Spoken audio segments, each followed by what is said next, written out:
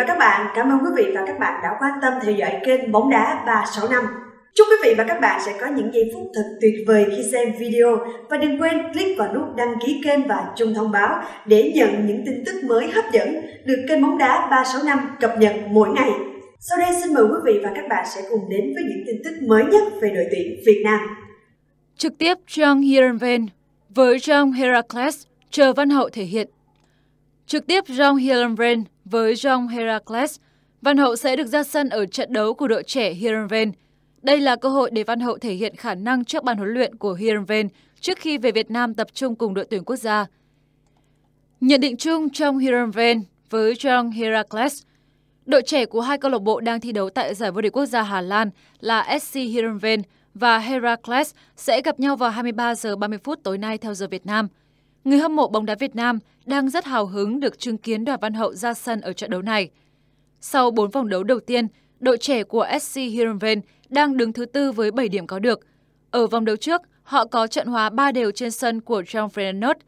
Trận đấu đó, Đoàn Văn Hậu được ra sân ngay từ đầu và chơi ở vị trí hậu vệ cánh trái. Cầu thủ trẻ của Việt Nam thi đấu tự tin và chững chạc trong gần 70 phút có mặt trên sân, phần nào đó đã thể hiện được tài năng của mình. Cuối tuần vừa qua, dù có tên trong danh sách đăng ký thi đấu của SC Heerenveen trong chuyến làm khách với Velov, tuy nhiên Đoàn Văn Hậu vẫn chưa có cơ hội được ra sân thi đấu tại giải vô địch quốc gia Hà Lan. Những trận đấu ở đội trẻ như thế này sẽ giúp hậu vệ gốc Thái Bình làm quen với môi trường bóng đá mới, hiểu thêm về chiến thuật và tích lũy thêm kinh nghiệm cho tương lai. Bên cạnh Văn Hậu, một cái tên đáng chú ý khác bên phía trong Heerenveen là tiền vệ Alan Halilovic. Cầu thủ từng có thời gian học ở lò La Masia của FC Barcelona cũng là bản hợp đồng mới của SC Heerenveen mùa hè vừa qua. Đối đầu với Văn Hậu và đồng đội sẽ là đội bóng trong Heracles. Hiện tại đội trẻ của câu lạc bộ Heracles đang đứng ở vị trí thứ 8 với 4 điểm sau 4 vòng đấu. Phong độ của họ không tốt khi đã phải chịu tới hai thất bại từ đầu mùa giải. Chuyến làm khách đến sân của Heerenveen hứa hẹn sẽ đầy khó khăn với đội bóng này. Báo Hà Lan, Văn Hậu sẽ đá trận gặp Heracles Armelov trước khi đội quân cùng đội tuyển Việt Nam. Truyền thông Hà Lan rất tự tin vào khả năng ra sân thi đấu của đội Văn Hậu trong màu áo của SC Heerenveen trong cuộc đối đầu với Heracles Amelov. Dạng sáng qua ngày 29 tháng 9, SC Heerenveen hành quân đến sân của VVV Velov tại vòng 8 giải vô địch Hà Lan. Christia Ejuk sớm mở tỷ số cho đội khách ở phút thứ 8. Sau đó 5 phút, chính cầu thủ này đã hoàn tất cú đúp bàn thắng của mình, đưa Heerenveen tạm vượt lên dẫn 2-0 và đến phút 87, Jens Odgaard ấn định chiến thắng 3 sao cho đội khách. Với 3 điểm trọn vẹn ở trận đấu này, SC Heerenveen đã leo một bậc trên bảng xếp hạng với 10 điểm trong tay và cắt đứt mạch 6 trận không biết đến mùi chiến thắng. Trong trận đấu này, tân binh Đoàn Văn Hậu đã không được huấn luyện viên Johnny Jansen tung ra sân dù anh góp mặt trên băng ghế dự bị. Vị huấn luyện viên 44 tuổi vẫn đặt niềm tin vào Lucas Wonderberg ở hành lang cánh trái. Tuy nhiên, theo báo giới Hà Lan, Đoàn Văn Hậu nhiều khả năng sẽ được trao cơ hội ra sân trong trận đấu với câu lạc bộ Heracles Omelov vào ngày 30 tháng 9 tại giải đấu dành cho đội hình 2. Đây là một nhận định có cơ sở rất vững chắc, bởi lẽ cựu hậu vệ của câu lạc bộ Hà Nội cũng đã có 75 phút đá chính trong trận hòa 3 đều trước Feyenoord ở vòng 4 giải dành cho các đội dự bị vào ngày 23 tháng 9. Nếu được ra sân trong trận đấu với Heracles Omelov, Văn Hậu sẽ có cơ hội tốt để thể hiện mình và tiếp tục cuộc đua tranh giành suất đá chính ở giải vô địch quốc gia Hà Lan cho màu áo SC Heerenveen. Ở vòng 9, SC Heerenveen sẽ trở về sân nhà Aberenstra gặp Perth vào ngày 6 tháng 10. Trong bản tin hôm nay, chúng tôi xin gửi tới quý vị và các bạn những nội dung đáng chú ý sau đây. Mời quý vị và các bạn cùng theo dõi. SC Heerenveen thuê giáo viên tiếng Anh riêng cho Đào Văn Hậu. Huấn luyện viên Johnny Jansen không vui dù Heerenveen giành chiến thắng. Cổ động viên Việt Nam điên tiết thả phẫn nộ vào fanpage Hirenven.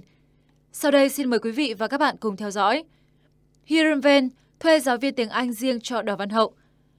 Câu lạc bộ Hirenven sẽ thuê giáo viên tiếng Anh cho Đào Văn Hậu nhằm giúp anh hòa nhập với đội bóng. Theo tin của Tiền Phong, trong tuần tới, câu lạc bộ Hirenven sẽ thuê một giáo viên tiếng Anh riêng cho Văn Hậu. Đội bóng Hà Lan đồng thời sẽ bố trí một phiên dịch viên để giúp Văn Hậu nhanh hòa nhập với các đồng đội. Sau khi tới Hà Lan, Văn Hậu đang rất tích cực tập luyện, làm quen với cuộc sống mới. Anh được hỗ trợ tối đa để có thể bắt nhịp với các đồng đội. Tại Heerenveen, Văn Hậu được bố trí nơi ăn nghỉ tập luyện, có xe ô tô riêng. Hai trận đấu gần đây của SC Heerenveen ở giải vô địch quốc gia Hà Lan, Văn Hậu đều có tên trong danh sách đăng ký thi đấu. Tuy nhiên, hậu vệ câu lạc bộ Hà Nội vẫn chưa được vào sân. Ở trận đấu gần nhất, Heerenveen đã thắng VVV Velo 3-0. Trước đó, đội bóng của Văn Hậu hòa không đều với Utrecht. Ở vị trí của Văn Hậu, hậu vệ Waterberg hiện đang có phong độ ổn định. Chính vì vậy, Văn Hậu hiện vẫn chưa có cơ hội vào sân. Được biết trong ngày mai, Văn Hậu nhiều khả năng sẽ được thi đấu ở trận đấu của Heerenveen với Heracles Omelov ở giải đấu dành cho các cầu thủ dự bị. Đây là cơ hội để Văn Hậu ghi điểm với huấn luyện viên Johnson. Huấn luyện viên Johnny Johnson không vui dù Heerenveen giành chiến thắng. Huấn luyện viên Johnny Jansen của SC Heerenveen tỏ ra không hài lòng với các cầu thủ dù giành chiến thắng 3-0 trước Valo ngay trên sân khách. Hôm qua, câu lạc bộ mới của Văn Hậu SC Heerenveen đã có chuyến làm khách trên sân của câu lạc bộ Velo tại vòng 8 giải vô địch quốc gia Hà Lan. Ở trận đấu này, đội bóng của huấn luyện viên Johnny Jansen đã giành chiến thắng 3-0 ngay trên sân khách. Rất tiếc dù đội bóng thi đấu áp đảo, nhưng Đoàn Văn Hậu vẫn chưa được tạo cơ hội để ra sân ở giải vô địch quốc gia Hà Lan. Dù giành chiến thắng cách biệt trước Velo trong trận đấu tối qua, nhưng huấn luyện viên Johnny Jansen của SC Heerenveen vẫn tỏ ra không vui với màn trình diễn của các cầu thủ. Chia sẻ với Fox Sport Hà Lan, ông cho biết, Chúng tôi đáng lẽ phải chơi hay hơn. Các cầu thủ đã để lộ ra quá nhiều khoảng trống, tạo cơ hội cho đối thủ triển khai bóng dễ dàng.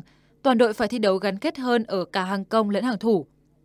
Ở trận đấu tối qua, SC Heerenveen đã dẫn trước hai bàn ngay từ hiệp 1 nhờ cú đúp của tiền đạo Ajax. Sau hiệp 2, dù chủ động nhường thế trận cho Velov, nhưng đội bóng mới của Văn Hậu vẫn kịp ghi thêm một bàn thắng nhờ pha lập công của Otrat. Tuy vậy, huấn luyện viên Johnny Jansen vẫn không hài lòng về hàng công của câu lạc bộ. Ông chia sẻ, hàng công chơi không tốt, các cầu thủ xử lý trái bóng quá cầu thả. Nhiều pha bóng chúng tôi hoàn toàn có thể tổ chức phản công hoặc các cầu thủ chỉ cần cầm chắc trái bóng là được, nhưng chúng tôi đã xử lý rất tệ. Huấn luyện viên Johnny Jansen nói thêm, trong hiệp 2, chúng tôi lựa chọn lối đá phản công và đã có thời cơ của mình. Nhiệm vụ của các cầu thủ là phải phòng ngự chắc chắn và ghi những bàn thắng tiếp theo. Dù sao chúng tôi cũng không để thủng lưới. Chiến thắng tối qua giúp cho SC Heerenveen tạm vươn lên vị trí thứ 10 với 10 điểm, vượt qua chính câu lạc bộ Venlo trên bảng xếp hạng. Văn Hậu không được ra sân trong trận đấu này, nhưng người hâm mộ sẽ có thể chứng kiến hậu vệ trẻ của Việt Nam thi đấu ở trận đấu của đội trẻ SC Heerenveen vào tối nay ngày 30 tháng 9. Cổ động viên Việt Nam điên tiết thả phẫn nộ vào fanpage Heroven.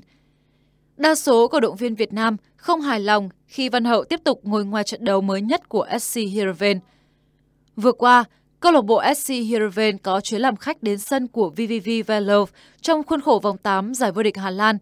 Kết thúc trận đấu, đội bóng này giành chiến thắng 3-0 trước VVV Velov. Tuy nhiên đáng chú ý là Văn Hậu tiếp tục phải ngồi dự bị.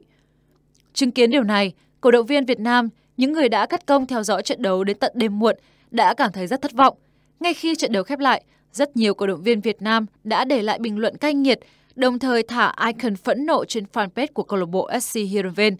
Sau đây là một số bình luận của cổ động viên trên trang fanpage SC Heerenveen. Chúc mừng chiến thắng! Trận tiếp theo nếu hậu không được đá chính, chắc chắn là ta không thèm theo dõi Heerenveen nữa. Văn Hậu sao không được vào sân? Công bằng ở đâu chứ? Chờ mãi không thấy Văn Hậu vào sân, buồn quá tắt tivi không xem nữa. Heerenveen hot là nhiều fan Việt Nam, cứ để hậu dự bị thì trang này sẽ tiêu tan. Tôi rất vui khi thấy đội các bạn giành chiến thắng, nhưng sẽ vui hơn nếu Văn Hậu ra sân và giành chiến thắng. Chúc mừng! Nhưng hóng mãi Văn Hậu ra sân trong trận này mà không có, thật là thất vọng. Cổ động viên buồn, chắc Văn Hậu cũng không kém. Kiếp dự bị gắn liền với các cầu thủ Việt Nam khi ra nước ngoài. Tôi đã nghi ngờ về bản hợp đồng của Văn Hậu. Heerenveen thắng mà cái kết không có hậu.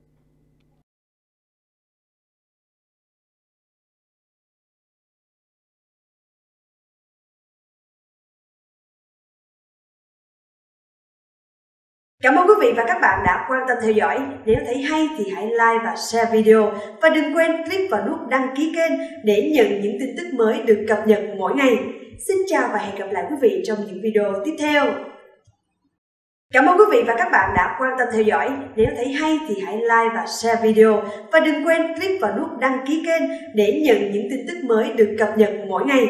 Xin chào và hẹn gặp lại quý vị trong những video tiếp theo.